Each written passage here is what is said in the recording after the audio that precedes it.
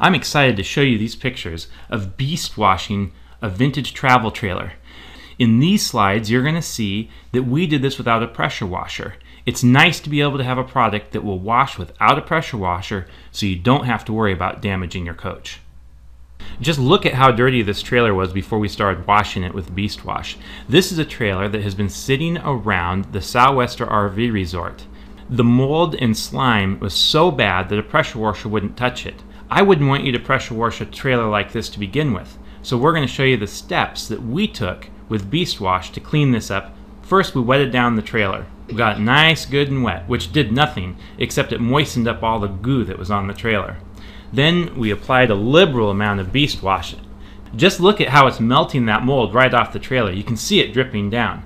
Now you're going to want to be careful on something like the Silver Streak that has anodized aluminum, not to let the, the soap drip down in the direct sunlight. You could damage the anodized metal.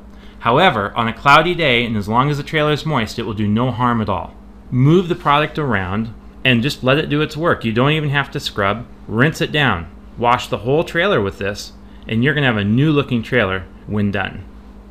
Remember to wash from front to rear so that you don't fill up any of your vents. If you can reach the roof, wash the roof first from top to bottom. Let the product sit and then rinse off if you've bought a new vintage trailer, a trailer that's new to you, wash it before you buy the darn thing. Your first step should always be to wash the trailer when you're detailing a trailer or an RV of any kind. Now look how clean and shiny this trailer ended up. It's fun, fast, easy, and safe to do.